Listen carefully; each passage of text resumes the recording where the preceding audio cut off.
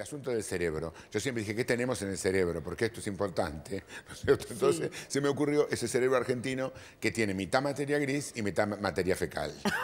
que es, porque si no, no se pueden justificar muchas cosas que hacen. Los argentinos hacemos cosas geniales Sí. que, se, que se, mm, eh, se valoran en todo el mundo, Sí. en todos los medios, en ciencia, en técnica, Sí. en arte, en cultura, en inclusive en cómo se salió de la crisis del 2001. Ahí dicen, ¿cómo mierda hicieron? Porque de verdad, nadie sabe Nadie cómo. sabe. ¿Cómo no se son- sabe tampoco? Son milagros regenerativos que tiene el país. Entonces, eh, hay una materia gris que puede... Y después está la materia fecal que produce. O sea, porque así como no sabemos cómo salimos, tampoco sabemos cómo nos metimos. Sabemos quiénes son los responsables, pero cómo nos metimos no. Yo alegremente dije, voten, voten. O sea que estábamos todos en una nube de pedo, Claro, evidentemente. claro, ¿no? No. claro. Entonces, yo creo que esa, esa cosa eh, dual que tiene el cerebro, la tenía yo dando vuelta en mi cerebro, además, y la pude ejemplificar con ese monólogo, con ese El cerebro monólogo gigante ese del principio que me hizo Oria Pupo, que es una escenógrafa extraordinaria. Y bueno, la ropa de Renata, que siempre con Divino, dos cosas todo es divino, Renata Yusen, quiero decir. Renata Porque, Yusen, Claro, sí. uno, uno habla como, como si estuviera en la mesa del café y la gente dice que La Renata, Renata, claro, era genial Renata. Genial. Y Ricky Pashkus, que por supuesto en la dirección